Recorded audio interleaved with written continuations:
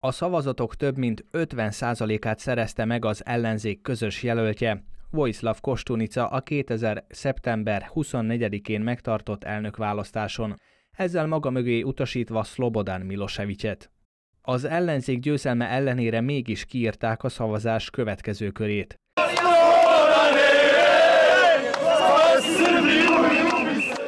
Ez robbantotta ki a tiltakozást, amelynek következtében megbukott az addigi kormányzás.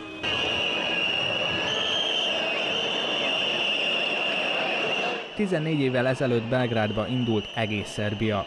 Az ellenzék felhívására a köztársasági képviselőház előtt több százezer ember gyűlt össze.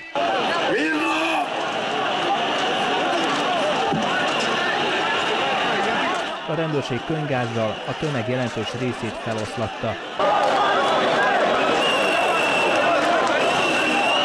Azonban ennek ellenére is több tucat tüntető bejutott az épületbe.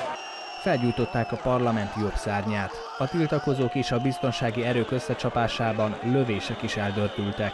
Később már a szerbiai RTV székháza is lángokban állt. Délután 5 órakor megszűnt az adás. 6 órára a rendőrök letették a fegyvert és csatlakoztak a demonstrálókhoz.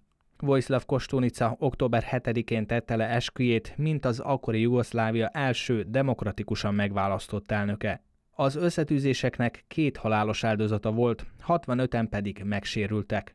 Slobodan Milosevicet 2001 áprilisában tartóztatták le a szerb fővárosban. Két hónappal ezután kiadták Hágának, népírtással, emberiség ellen elkövetett büntettekkel, háborús bűnökkel vádolták. Ítélet nem született, a volt jugoszláv elnök ugyanis 2006. március 11-én szívrohamban meghalt, saját cellájában Seveningenben,